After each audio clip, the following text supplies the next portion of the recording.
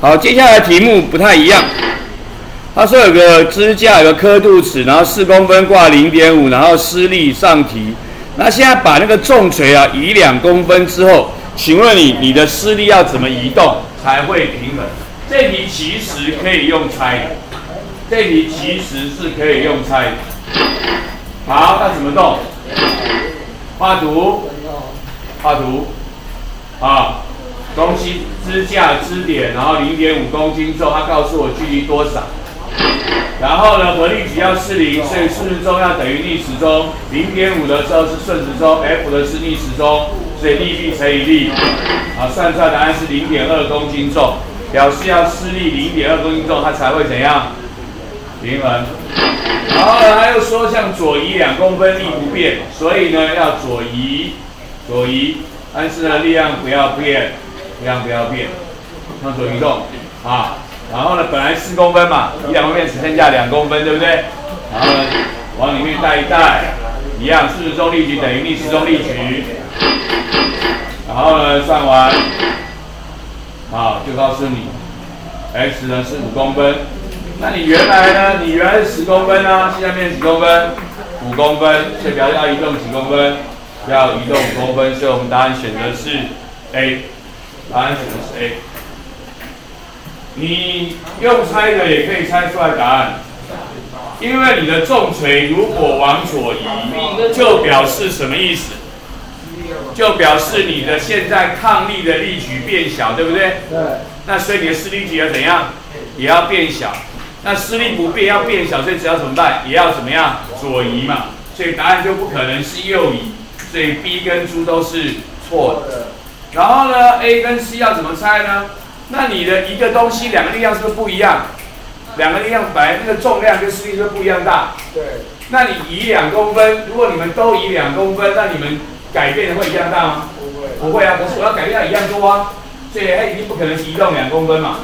所以我在我就是我就只要剩下可以可以选了，我就只剩下 A 可以选了，我就知道答案是 A 了，我不用算我也知道答案是 A，我不用算也知道答案是 A，OK，好，下一个。不用算就可以猜答案。重锤左移力矩减少，所以势力要左移。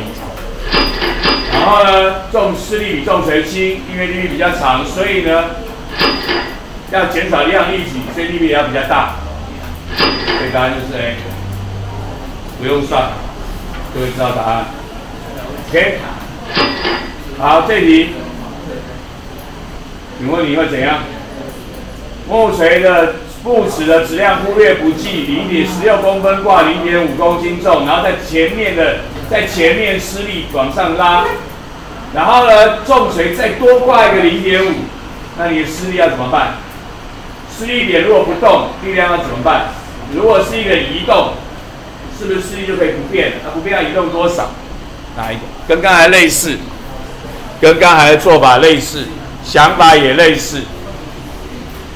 啊，一个是力量不变，施力的位置要变；一个是施力的位置不变，力量要变，要重新平衡。怎么样做会得到的答案？这也是属于另外一种形式的题目，这属于另外一种形式的题目。请问你该如何呢？该如何呢？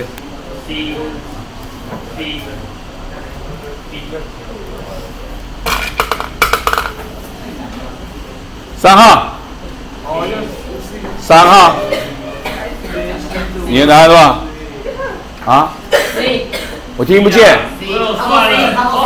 你用手比一二三四给我看。C 三，请坐。你答案选的是 C。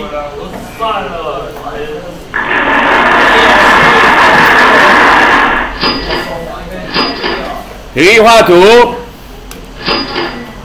合力矩等于零，顺时钟等于逆时钟，零点五顺时钟，F 逆时钟，算出来四公斤重。好，现在施力点如果不动，位置一样，重量呢旁边重变一二，然后算一算，要变成八公斤重。所以如果施力点不动，力量要变八公斤重。所以呢，A 跟 B 都错了。然后呢，如果视力不变，移动位置，然后改一下距离变 x，一样合力矩要是零，顺时钟等于逆时钟，好，算出来变四公分，所以表示它要变成四公分了。